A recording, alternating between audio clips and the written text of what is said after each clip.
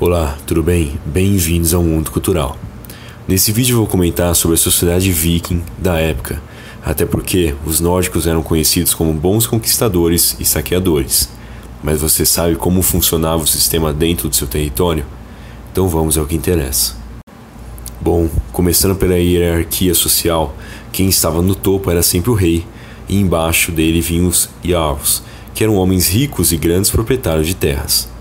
Porém, veja bem, esses caras não eram nobres, não havia nobres nas sociedades vikings. E abaixo dos Jarls havia os Carls, ou precisamente o povo, que eram livres, porém sem posses ou com poucas propriedades. Eles eram geralmente pequenos comerciantes ou lavradores. Logo após estavam os escravos, e eles eram geralmente prisioneiros de batalhas, mas podiam ser escravos por dívidas ou por crimes, e quem detinha a posse do escravo tinha direito de vida e morte sobre eles. A maior parte dos povoados vikings eram fazendas pequenas, com entre 50 a 500 habitantes. Nessas fazendas, a vida era comunitária, ou seja, todos deviam se ajudar mutuamente. Além disso, o trabalho era dividido de acordo com as especialidades de cada um.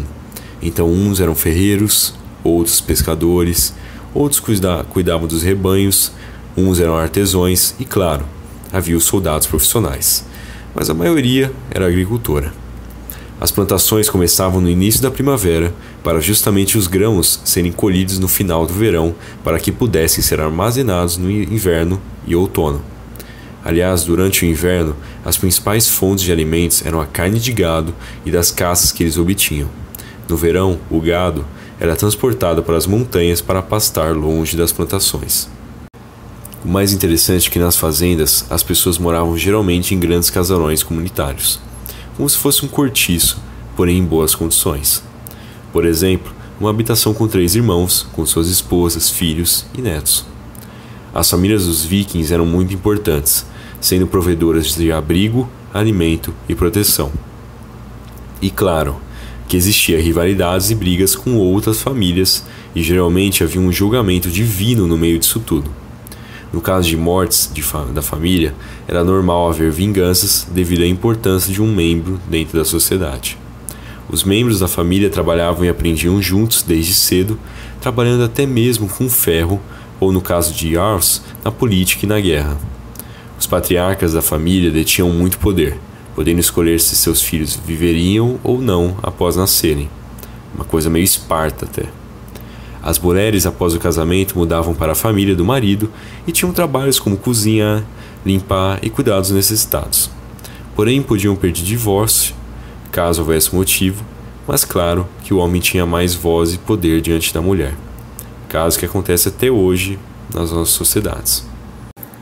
A cultura viking tinha como caráter bélico devido também às influências religiosas. Eles eram politeístas, ou seja, acreditavam em vários deuses que tinham diversas características, personalidades, histórias e influências nos seus dias a dias.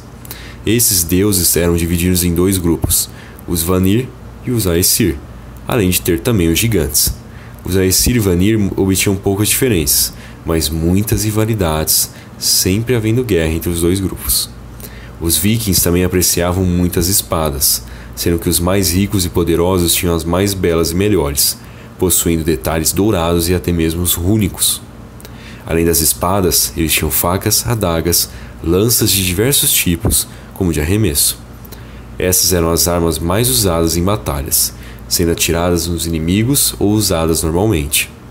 O interessante é que quando as lanças eram atiradas nos inimigos, eles clamavam o nome de Odin, conhecido por sua lança Gangnir, que nunca errava o alvo mas os vikings também usavam arco e flecha, principalmente nas batalhas marítimas, e os machados, claro.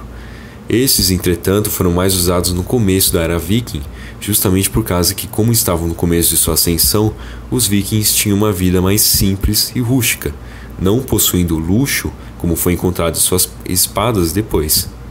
Os escudos também que usavam eram de madeira, mas com um detalhe de ferro no meio e ao longo da borda para proteger a mão.